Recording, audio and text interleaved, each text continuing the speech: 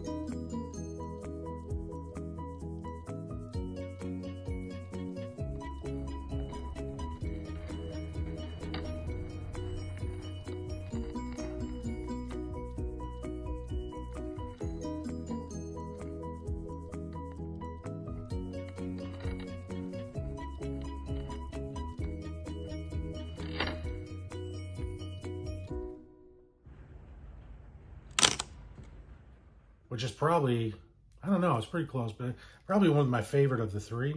Uh, this is a really nice camera. It's really small. Um, I think it looks great. You can see there. And on this one, I have the uh, Pentax uh, 1 to 1.750 millimeter lens. And it's just, it is, it's just a great looking camera, easy to use. I've never had a problem with it, functions flawlessly. And again, it has uh, the battery compartment where I'll show you in a minute, where you can put those in and then you can have functionality uh, of having the, the camera will find your, based on your f-stop and the speed of the film that you put in, it will find the shutter speed for you to give you a good exposure. So, just a little look at it here. Okay, talk a little bit about here. We'll start with the front. Here's your lens. Here is your button to remove your lens. Push that in, turn counterclockwise to remove the lens.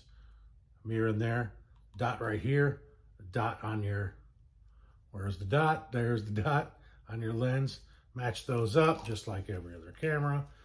Turn it clockwise, put it in there, and there you go. Your timer is here. So we crank it up. Push our timer.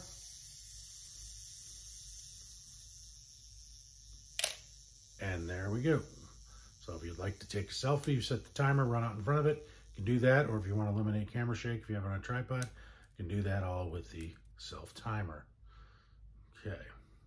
So let's go to the top of the camera here. Here we have our wind set. Okay. So we can take our picture. And then we have our counter here. Shutter button here, which I just shut off. And then we have our shutter speed dial here. Now this shutter speed dial only has three modes. You have bulb mode, which is B. You have 100x shutter speed, 1 100th of a second. And you have auto, which has on there one, through 1000. I'll explain a little bit more about that in a minute. We have our hot shoe at the top. We have our winder for our, see that's a terrible angle, pop this out. Oh, I didn't do it again, pop that out. Wind your film back, done. You can pop this up. Oh wait, and I'm gonna show you. So there's your speed, uh, speed, can't talk. There is the speed, film speed, ASA, which is same as ISO. And then we have a little, there's a little piece on here that you can, you can set, has a plus minus on it. You can set the dot to where your speed is. So let's say we have 400 film, we can set this. I'm trying to do this because it's very difficult. My fingers, I can't even get them in there. I don't know, it was kind of a terrible design. You can see the little dots in there. But anyway, uh, I'm not gonna spend much time on that. It's pretty simple. Back of the camera, have your viewfinder, and that much, that's about it. Um, to open up the film, this is basic like many other film cameras that you use. Pull the top, opens, there it is. Film here, winds here. I mean, not winds, but as you shoot, this is where it comes to, and then you wind it back here, spins around, there you go. Pretty basic, just about like every other film camera. So we won't spend too much time there. Bottom of the camera, have our tripod mount. This is just a connection for the winder. And then we have our battery compartment. So now this camera will fire. As you can see, no battery. I have it on auto, which you don't really want to do when you don't have a battery in there. Now I have it on 100X. My shutter speed, 100X. Now I know what it is. It's going to be 100. I can set my f-stop and I can set my, you know, I have my speed and then I can take my picture and I can, now you're not going to get any of the highlight, you know, anything lit up in the camera. The light meter is not going to work, obviously. So you can set it to what you want, use the Sunny 16 method, however you want, snap your picture. But this is great if you forget batteries or you run out of battery, you can still use the camera. So that's good. So let's pop the batteries in real quick. So we put them in, uh, positive side goes down, positive side down, into the camera like this, top goes on like this, and then there is, now there is a special tool that you have to use to get the bottom on. Well, it's a quarter. Anyway, use any coin will work. Spin the bottom on. Okay, now now if we set the camera to auto, oh, I forgot one last thing on the top. Uh-oh, almost forgot. So see this little dot right here? It will turn, it's black.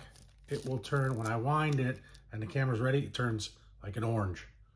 So then you know you're ready to shoot. You don't miss a shot. Turn it on auto, look in the viewfinder.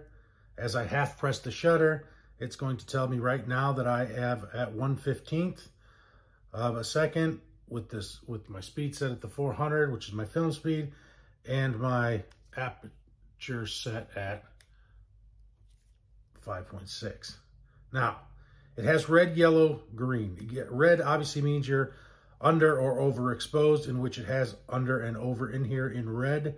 Also has flash at the top to tell you if you have flash. If you're using flash, so I'm at yellow. So I can try to get that to green and do that by changing my f-stop. Now I'm at f2.8, 1 60th of a second, and I am in the green. Then I can use this as a manual focus lens. It does have a focus assist. On this camera, I can focus in, a little too close, focus in, and I am at still 1 60th of a second. Oh, so inside here, as you're looking at the viewfinder, you have 1, 2, 4, 8, 15, 30, 60. You do not have 100, it just has an X because your 100X is here. Then you have 125, 250, 500, 1000, and then you do have bulb mode for any long exposures. So anyway, that's about it on this camera. Like I said, it's very simple, easy to use. Uh, if you run out of battery, you can still use it. If you have the batteries, great. You can use it to get your exposure, to get your shutter speed you want. You can change your f-stop so you can try to get the shutter speed to where you want it for your picture. Uh, you pretty much have everything you need with this camera. Great little camera, easy to use because the best camera you have is the one that you take with you, something like that. That's what they say. And for me, this is the one I like to take with me. Thank you very much and have a great day.